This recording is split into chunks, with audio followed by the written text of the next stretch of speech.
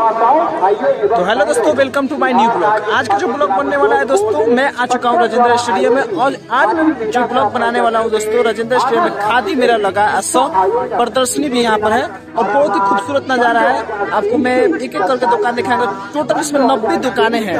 नब्बे दुकान में अलग अलग वेरायटी के यहाँ पर सामान मिल रहे हैं। तो चलिए आपको दिखाते हैं और हमारे टीम में पूरे कुछ खरीदेंगे उसको भी दिखाएँगे लोग। तो चलिए दिखाते हैं।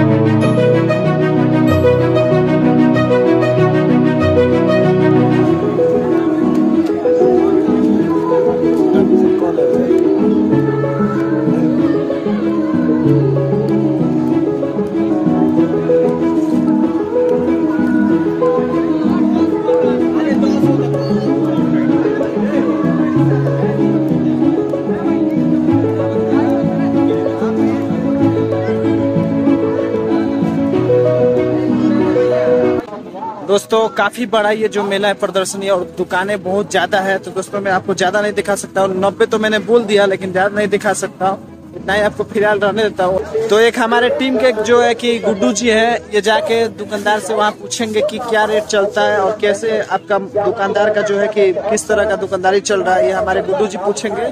बहुत ही उत्साहित है पूछने के लिए, हमसे खुद कहे कि हम ही आज पूछेंगे। तो चलिए, इनको गुड्डू जी को हम देते हैं। भैया, आपका नाम क्या है? मेरा नाम राम कुमार है। और ये मेला कब से मतलब चालू हुआ है? मेला 18 तारीख से चालू हुआ है। सत्ताईस मार्च तक रहेगा?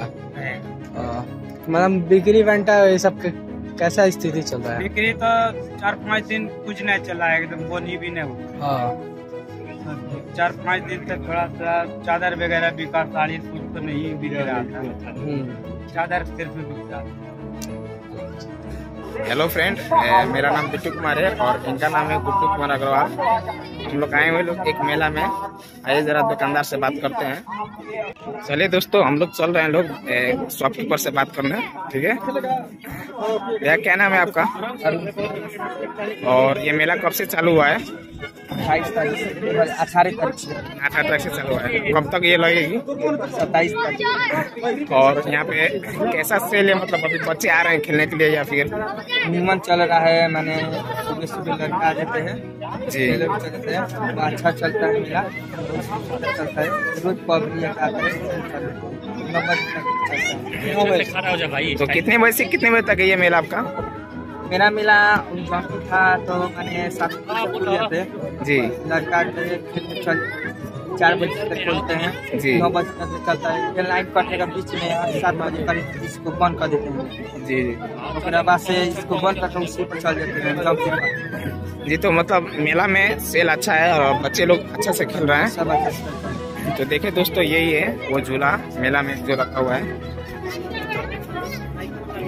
ठीक है बच्चे लोग मज़े कर रहे हैं।